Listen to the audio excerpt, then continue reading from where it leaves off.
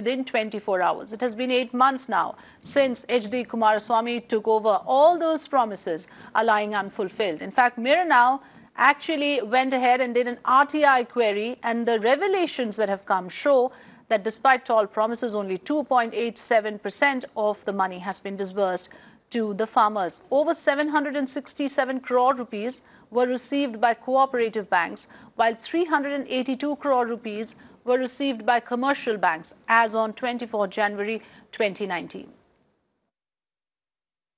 This is a shocking revelation coming in from the Revenue Department of Karnataka. Now, this is the RTI copy that we have received from the Revenue Department here, right here in Bengaluru itself. Now, there are several questions that we have asked, Mirror Now has asked, because remember, it's been over a couple of months since H.D. Kumaraswamy, his government have been claiming that they have ensured a complete loan waiver. Now, according to H.D. Kumaraswamy, he had promised by saying that he will ensure nearly 46,000 crore rupees of loan will be waived off in the next couple of months. And we also heard just a couple of days ago that is the budget, the upcoming budget for this fiscal year. We understand they are planning to set aside 20,000 crore rupees now, which will complete the 46,000 crore as promised by H.D. Kumaraswamy. But is that what is really mentioned in this RTI response to Now? Well, not really. What we understand is that out of 46,000 crore rupees, it clearly says now this is the response what we are getting here.